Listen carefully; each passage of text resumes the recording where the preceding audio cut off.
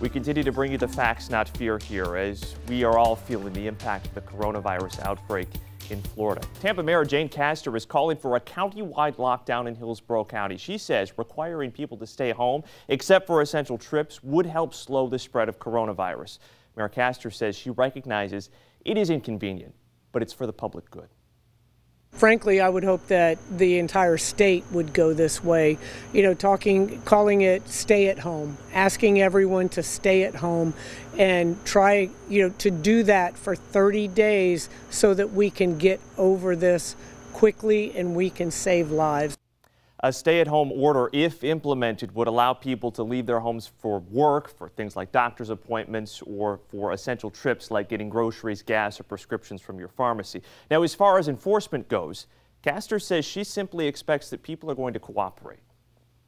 There may be a few people that we will have to remind, and there may be a few people we'll have to drag along, and that's fine too.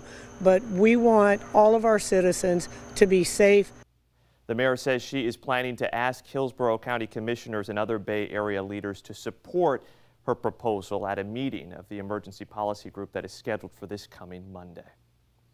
Right now, Connecticut, Illinois, New York, and California, they are all under stay-at-home orders. Several cities across the country, too, like New Orleans, they have also issued similar decisions. Now, order or not, there is a lot that's already, of course, shut down anyways to slow the spread of coronavirus. Sarasota County beaches, they closed uh, just about a few minutes ago at 6 this morning. Every public beach in Pinellas County, including Clearwater Beach, is closed. So are the beaches in Tampa and Manatee County. Private beaches, though, in these areas, they are not impacted. Also, Hillsborough County conservation parks like the Upper Tampa Bay Trail and Town and Country Greenway are closed. Standalone boat ramps and nature preserves, they remain open.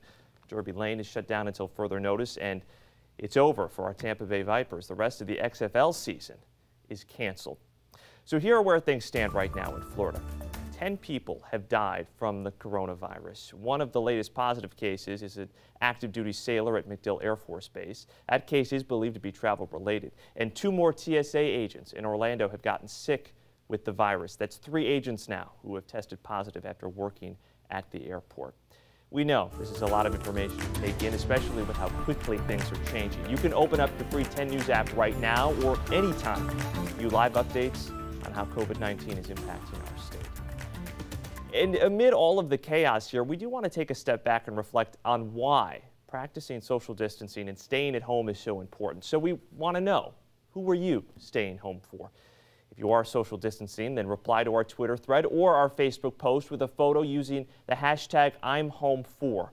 We're going to share some of your photos that you've already sent in a little later on.